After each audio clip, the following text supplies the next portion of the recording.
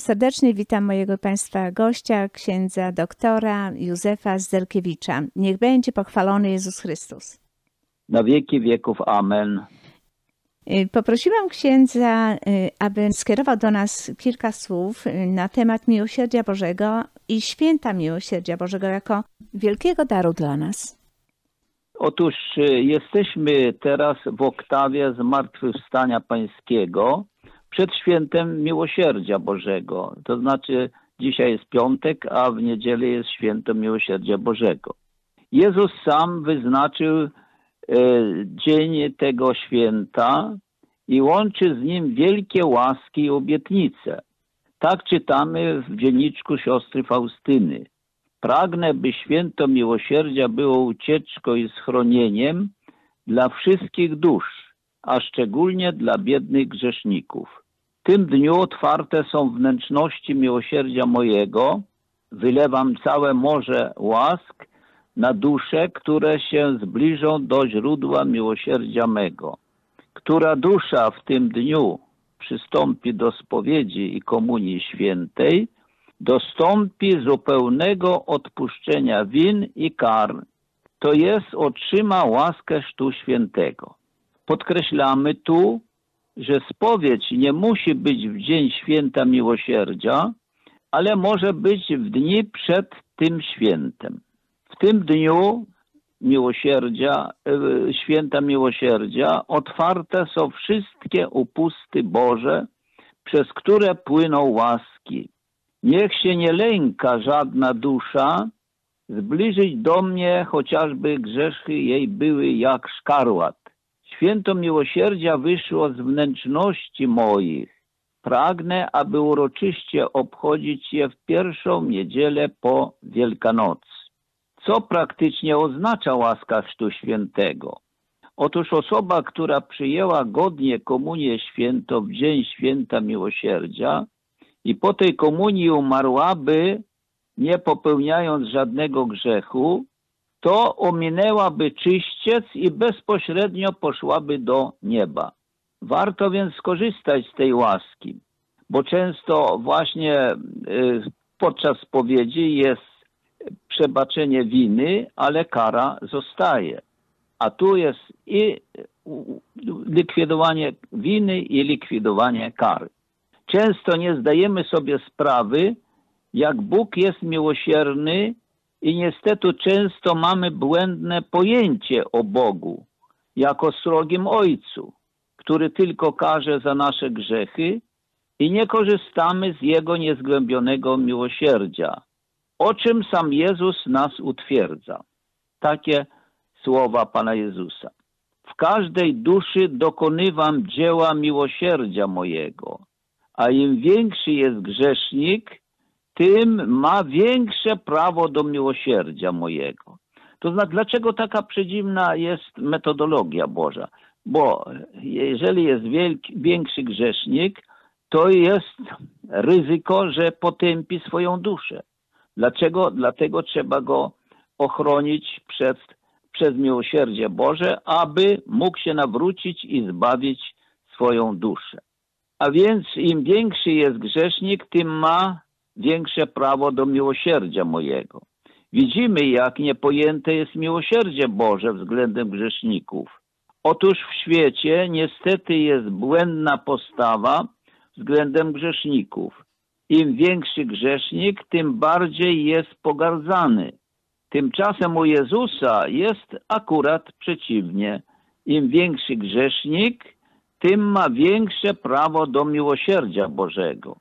Także Jezus dodaje pokrzepiające słowa do największych grzeszników.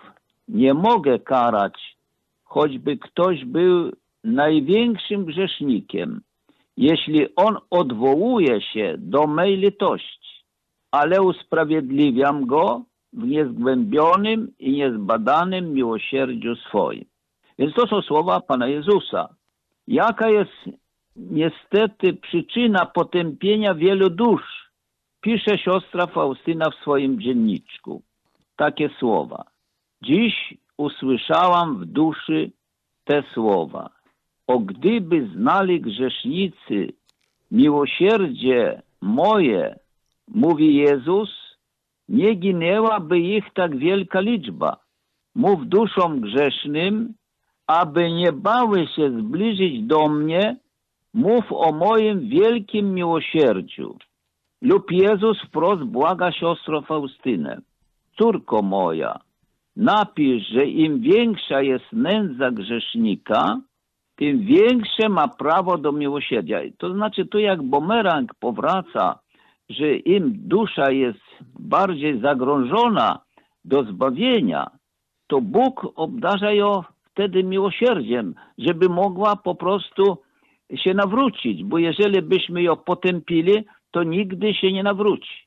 I dalej Jezus mówi tak, namawiaj wszystkie dusze do ufności w niepojętą przepaść mojego miłosierdzia, bo pragnę wszystkie te dusze zbawić. Nikogo nie wyłączam z mojego miłosierdzia. Niestety słyszy się nieraz takie powiedzenie. Ja tyle nagrzeszyłem, że Bóg mnie nie przebaczy. A więc widzimy, jaka jest wielka ignorancja. Dlatego tak wiele dusz ginie, potępia się, bo myślą w podobny, błędny sposób. Po prostu dużo nagrzeszyłem i dlatego Bóg mnie potępia. Bo myślą w podobny sposób, znaczy według tej metodologii, że tyle nagrzeszyłem, że Bóg mnie nie przebacza. Zamiast zwrócić się do Jezusa, jak to uczynił dobry Łotr, wielki grzesznik i zabójca, i zbawił swoją duszę. I zwróćmy uwagę, jako pierwszy wszedł do raju, który to raj przez tysiące lat był zamknięty po grzechu pierworodnym. Żadna dusza do chwili Jezusa ukrzyżowanego nie weszła do raju. Jest to dla nas, grzeszników, wspaniałomyślny dar wielkiego miłosierdzia ze strony Jezusa. Właśnie, że wprowadził pierwszego Łotra do, do, do, do raju. Bo w ten sposób, zwróćmy uwagę, wskazuje nam Pan Jezus, że każda dusza jest mu droga, a szczególnie też wielkich grzeszników. I gdy takie, gdy także nam zdarzy się upaść w ciężki grzech, to możemy tak jak dobry łot śmiało zwrócić się do Jezusa i otrzymać przebaczenie. Oczywiście w tym znaczeniu, że żałuje za grzechy i postanawia, że więcej grzeszyć nie będzie, bo to jest fundamentalny warunek przy spowiedzi i zbawić swoją duszę. Jakże możemy mówić wbrew miłosierdziu Bożemu, że Bóg mnie nie przebaczy, bo tyle nagrzeszyłem. Skoro im więcej nagrzeszy, tym ma większe prawo do miłosierdzia, to tu właśnie jest coś przeciwnego.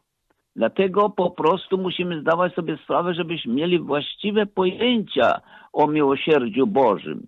Dodajmy jeszcze fakt, że Jezusowi bardziej zależy na zbawieniu naszej duszy niż nam samym, bowiem On zapłacił za naszą duszę swoją przenajdroższą krwią. Dlatego pragnie, by ta krew była owocna i wykorzystana dla zbawienia każdej duszy. A więc właśnie, bo, bo po prostu, jeżeli jakaś dusza się potępia, to znaczy, że krew Jezusa została wylana dla niej darmo. Dlatego Jezus angażuje się także emocjonalnie, przeżywając z głębokim wzruszeniem każdą utratę duszy przez Niego odkupionej, a która nie korzysta z Jego nieskończonego miłosierdzia. Co wyraża przez następujące słowa sam Pan Jezus do siostry Faustyny. Posłuchajmy. Utrata każdej duszy pogrąża mnie w śmiertelnym smutku. Zawsze mnie pocieszysz, kiedy modlisz się za grzeszników. Najmilsza jest mi modlitwa za grzeszników i jest ona zawsze wysłuchana. Więc to są niesamowite słowa, moi drodzy bracia i siostry. Więc Jezus, można powiedzieć, cierpi śmiertelny smutek, jeżeli widzi, że jakaś dusza stoi na krawędzi potępienia. I właśnie jeżeli my się modlimy za tą duszę, to Jezus wysłuchuje nasze modlitwy, ponieważ nie chce, żeby krew Jego przelana za tą duszę była daremna. Widzimy, że te wszystkie przesłania Bożego miłosierdzia są tak wspaniałomyślne i zadziwiające w swojej istocie, że nie pojęte przez żaden umysł ludzki ni anielski. Bo jak można zrozumieć, że sam Jezus prosi o modlitwę za zbawienie grzeszników, którzy go obrazili? Zapewnia też o jej wysłuchaniu, jak żeśmy czytali. Ponadto w ten sposób, jak nas zapewnia Jezus, czynimy Jezusowi radość i zdejmujemy z Jego duszy śmiertelny smutek, który przeżywa z powodu utraty tych dusz. Więc moi drodzy, to jest, jeżeli my widzimy jakiegoś grzesznika, to nawet się może nie smucimy, a Jezus doznaje, jak sam mówi, śmiertelnego smutku. I jeżeli ktoś się modli za tą duszę, to Jezus mówi, że ta modlitwa jest wysłuchana. Oczywiście e, e, ta, to miłosierdzie działa na tego grzesznika i on po prostu przed śmiercią, czy jakoś jeszcze może wcześniej, nawraca się i zmienia swoje życie. A więc e, śmiertelny smutek, który przeżywa z powodu utraty tych dusz. Stąd widać, jak wielka i niesamowita jest hojność oraz troska Jezusa o zbawienie dusz naszych. Także w tym fragmencie utrata każdej duszy dotykamy niesamowitego miłosierdzia Jezusa. Możemy przez naszą modlitwę, słuchajmy uważnie to, bo to się przyda w naszych rodzinach, przez naszą modlitwę wstawienniczą ratować dusze biednych grzeszników przed potępieniem wiecznym w piekle, którzy żyją nieraz w ciężkich grzechach, nierzadko w naszej najbliższej rodzinie, dzieci, wnuki, mąż, żona. Cierpimy z tego powodu, bo nie widzimy możliwości, jak sobie poradzić z tym bolesnym problemem ich nawrócenia. Otóż nie potępiajmy ich, nie osądzajmy, a okazując im miłość i miłosierdzie, módlmy się z ufnością do Jezusa Miłosiernego, który mówi, że modlitwa za grzeszników jest zawsze wysłuchana o ich zbawienie, a znajdziemy ich kiedyś w niebie. Bo modlitwa za nich, jak zapewnia nasz Jezus, jest zawsze wysłuchana. A więc nie krytykujmy, nie obmawiajmy, a módlmy się, powiedz Panie Jezu, zwróć uwagę na tą biedną moją córkę, czy syna, czy wnuka, czy mojego sąsiada. Wykorzystajmy więc ten wspaniały dar miłosierdzia Bożego.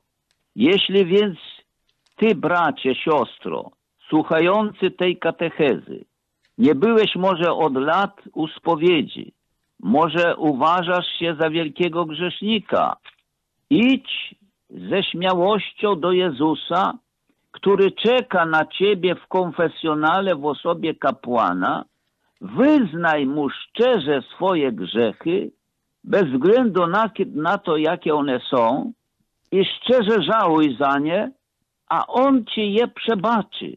A gdy były jeszcze ciężkie grzechy, to ci powie, sprawiłeś mi wielką radość i zdjąłeś z mojej duszy śmiertelny smutek który miałem z powodu Twoich grzechów.